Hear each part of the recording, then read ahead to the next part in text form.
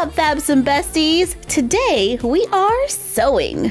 We are making some shorts for our smart doll. This is a 24 inch doll. You can check out our smart doll reviews on our YouTube at My Froggy Stuff. We made a pattern that will be available on our blog, myfroggystuff.blogspot.com. This pattern has two pages and we always include a 1 inch scale so you can make sure you print it to the same size. Measure it to a ruler, and if it's 1 inch, you're good to go. These shorts will have a waistband and pockets. That's right, real pockets. Cut out the patterns.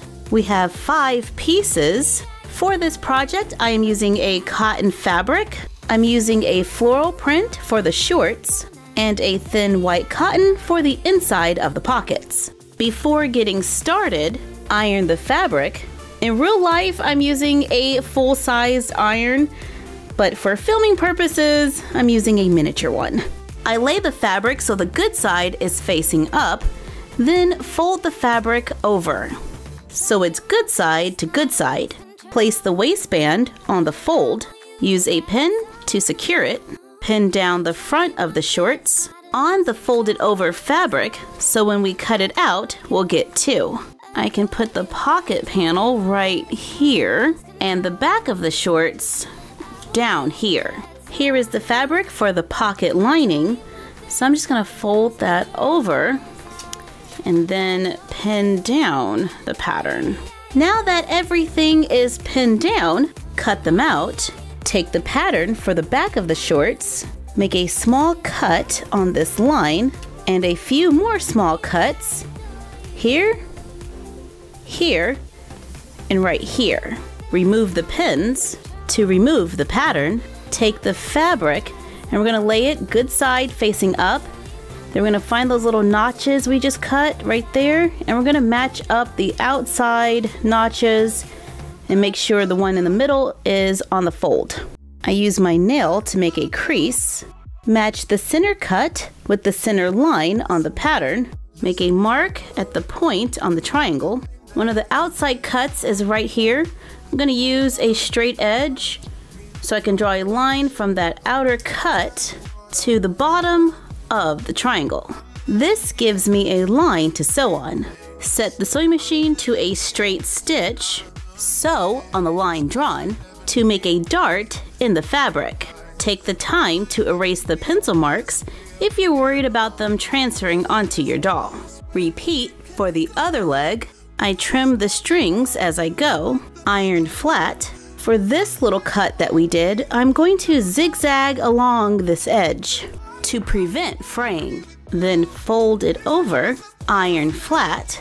Repeat for the other leg, then sew a straight line along this edge. Once both legs are done, set it aside.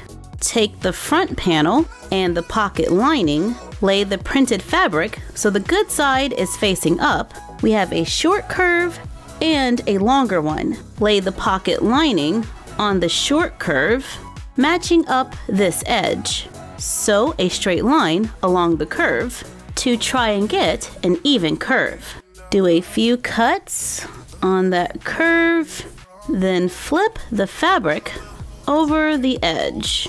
Iron it, flip it over, sew a straight stitch right along that edge on the top side. Repeat for both sides. Take the pocket panel, place one behind the sewn edge. When you flip it over, you want it to line up with the edge of the pocket lining. Grab just the lining and the back of the pocket and let's pin those in place. Carefully sew a straight line just along this edge. You don't want to sew that, you just want to sew this. And that creates the inside of our pocket. I am going to go back and do a zigzag stitch along this edge, making a complete front panel. Repeat for both legs. Lay them good side to good side, sew a straight line along the curve and stop. Make a few cuts along the curve to release the tension. Open it up, lay it flat, open the seam, and iron it down. Take the two back panels, Flip the front over so the good side is facing up. Take one of the back panels, and you see that curve there? We're gonna flip it over and match up the curve with the side of the shorts. Use pins to hold them together along the side. Sew a straight line along the edge to attach the back panel. This will also close the side of the pocket. Repeat for the other side, and I'm going to zigzag along these edges to stop them from fraying. Now all of my panels are sewn together and it's one big piece. So we are going to hem the bottom of our shorts. Flip it over so the good side is facing down. Fold it once, fold it twice, and iron.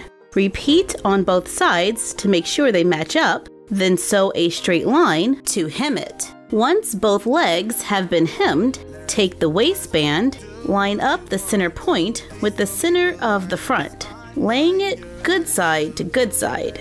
Pin them together across the top, sew along the top edge using a straight stitch. Take it and fold up, flip it over so the good side is facing down, fold over the top edge, iron it so both ends are now folded. Flip it back over to the good side, take the waistband and fold it in half so it goes past this seam just a little.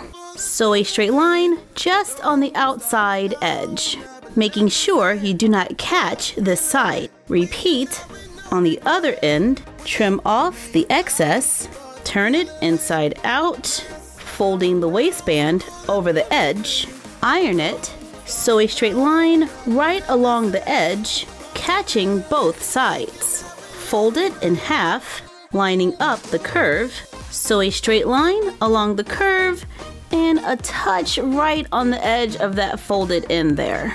Pull the two sides apart, line up the inside of the legs, sew a straight line going across. Finish it off with a zigzag stitch. Flip it right side out, stitch on a hook and eye to make a high-waisted pair of shorts. With pockets! These are so perfect for warm weather. Real pockets are such a fun detail and I love high-waisted pants and shorts. In the back, we left an opening for the doll stand so she can stand up and show off her new clothes.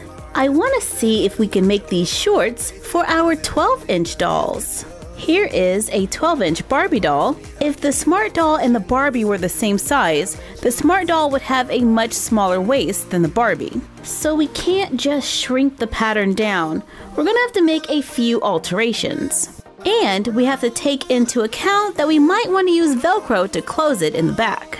Let's see if this pattern works.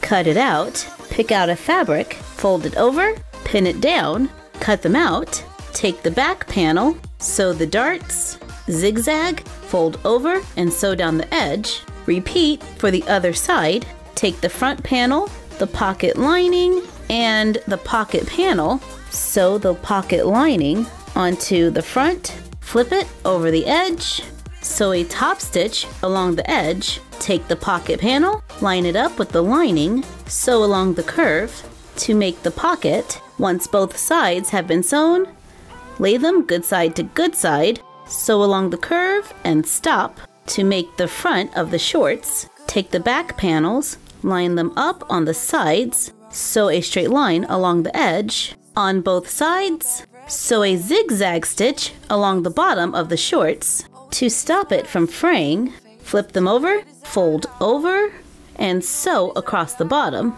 To hem them, take the waistband, place it at the top with the good side facing down, sew a straight line, flip it up, sew a zigzag stitch on the raw edge, fold it over so it goes past the seam just a little, sew a straight line on the side, trim off the excess, fold it over, making sure to push out the corners. The edge of the waistband should wrap around to the other side.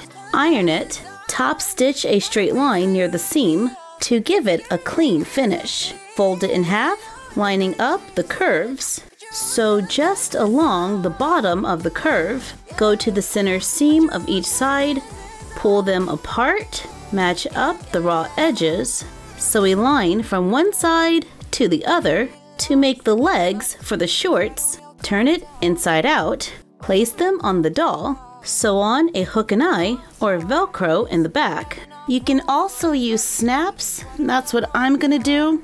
I wanted to do velcro because it's, you know, pretty easy, but I think snaps are going to look the best. That works. And now we have shorts with pockets for our Barbies too. I will make these patterns available on our blog, myfroggystuff.blogspot.com. Our patterns are not perfect, but they are free, so yay. Go to the blog, click on the tab that says How to Print Printables, scroll down to the albums, click on the album that says Patterns and Stuff, choose the pattern, click on the three dots in the corner to download and print. The Barbie pattern can fit tall and classic Barbies. Thank you for joining us while we made shorts with pockets for our dolls. Like, comment, share, and subscribe. Don't forget to ring the bell and follow us on Instagram at MyFroggyStuff and the Frog Vlog. And we will see you next time. Bye!